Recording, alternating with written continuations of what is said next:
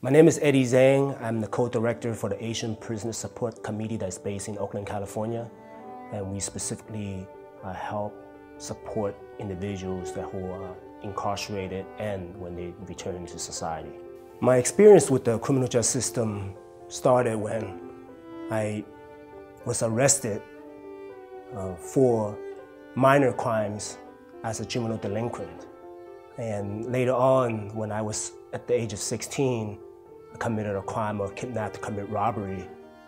And I was charged as an adult and sentenced to life in prison with the possibility of parole. And that journey took uh, 19 years uh, inside the state prison. And after that, I was detained by the Department of Homeland Security for deportation because I'm not a citizen of the United States. The criminal justice system is not really designed to um, hold young people especially young people who are under 18, uh, to rehabilitate them. Because punishment is the, the key point for the criminal justice system. Um, so I don't believe that it is really helpful in deter crime or uh, help create public safety.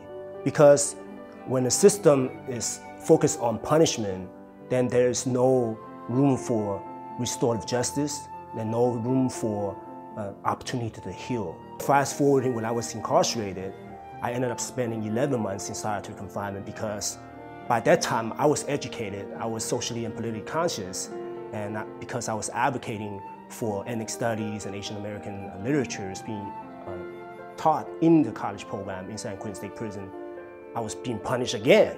Uh, but this time for exercising my knowledge and exercising my voice you know, to demand more um, culturally competent uh, literature and courses to uh, for for the population where we can really understand our culture and history to uh, so we can find more commonality than differences, right? And to promote racial harmony. So that's that's why this the system itself is is not conducive uh, in really helping the individual that who are impacted uh, by the criminal justice system, right? It also does not allow people opportunity to really um, reclaim the, the trauma, right? So we hear the terms hurt people, hurt people, and heal people, heal people, and that's that's a reality, right? When when in my situation, when I was able to really uh, come to terms with myself in engaging in the education process, I was able to have the confidence and self-esteem that I didn't have when I uh, committed a crime. And then it's through that process I was able to cultivate empathy, I was able to cultivate uh, the understanding of taking responsibility for my action, right? Because when I committed my crime, I sentenced my victims to a life of suffering. And at the same time, I also sentenced my family and myself in a lifetime of suffering in that sense, right? So, but because I was able to uh, focus on um, engaging in higher education and with the support from my family and the people from the community who I uh, were able to really build a, a relationship with, they're the ones that who continue to motivate me and support me to be able to do better. And as I mature um, from a teenager all the way to an adult, then I was able to really understand that I have a bigger purpose as a human being, you know, on this earth, humankind.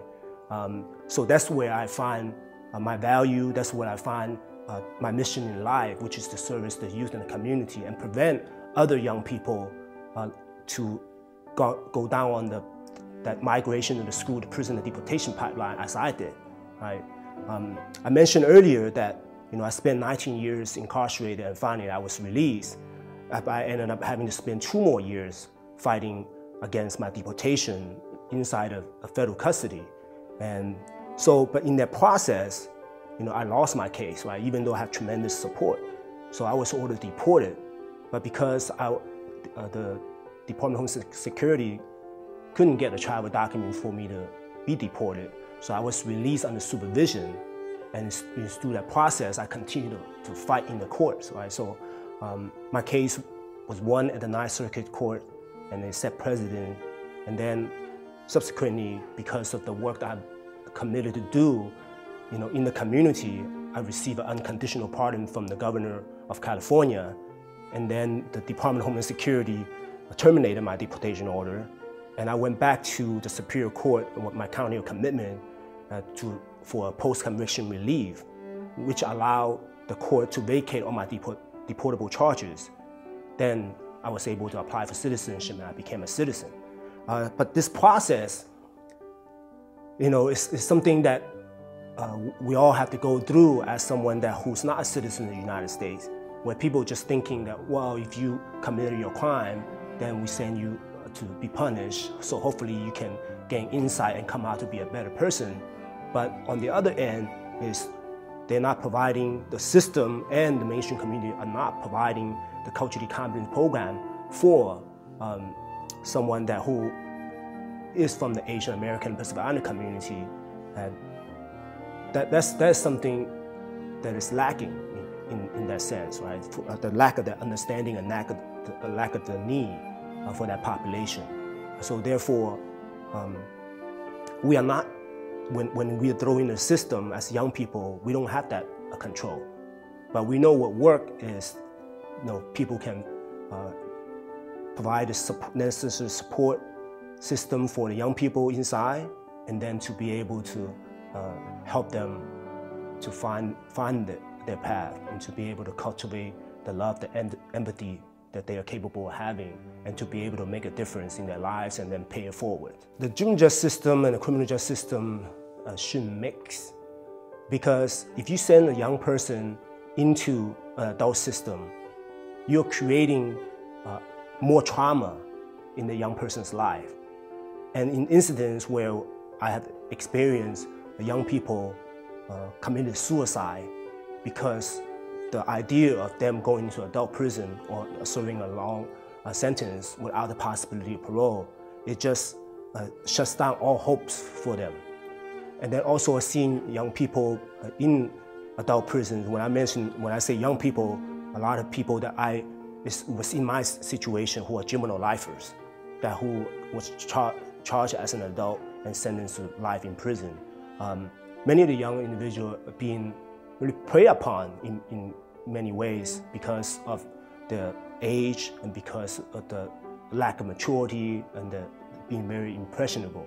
And when you go into adult system where uh, violence is the norm and the institution of isolation or oppression is their daily existence, then for the young person, it's very difficult to be able to um, not get reach, continue to be traumatized, and at the same time not getting the therapeutic support that they need to heal. In that sense, we are actually creating more um, violence. We create more uh, public, public safety issues for, for, the, for the young people when they do get released because not everyone uh, who was sentenced to adult prison or who was sentenced as adult and going to adult prison are all lifetime prisoners. Many of them, they do get out. And when we don't, when we start mixing young people in the adult system, that's when we really um, sentence to, in, in a sense, uh, give them a death sentence in many ways. Uh, so that's why uh, we, we have to shut that down. Slavery to continue to exist and the system is set in place to profit off of people's incarceration. So, therefore, uh, race has every part to do with the system, how it is set up, because the majority of people that were incarcerated or impacted by uh, the prison industry complex, um, they are people of color. And if we, if we can understand that and look at how the systemic racism plays a part into this prison industrial complex with, with privatized prison uh, when human bodies are, are used as uh, labor, as free labor. Right? It's no different than the slave plantations and the cotton fields, you know, when the slavery uh, was openly accepted. So therefore, race, ethnic ethnicities have has everything to do with the criminal justice system. But therefore, we must, you know, start thinking about different ways. You know, when we're talking about how do we um, engage the people that who make poor choices, that who committed crimes, and sometimes violent crimes. How do we understand that they are human beings? How do we understand that just because they committed crimes, they don't have the ability to change and they don't have the ability to uh, for transformation and redemption? People say that about me when I uh, first enter the system. That wow, look at this person. He shouldn't be out in, in society. He shouldn't even return to society until well into his, uh, you know, middle age or when he's older, right, in a sense. Because people counted me out. They say that I'm incorrigible. But yet, here I am, right? As, as someone that who is capable of change, that who demonstrated with the necessary support and uh, necessary culturally competent uh, programs, then I am able to excel.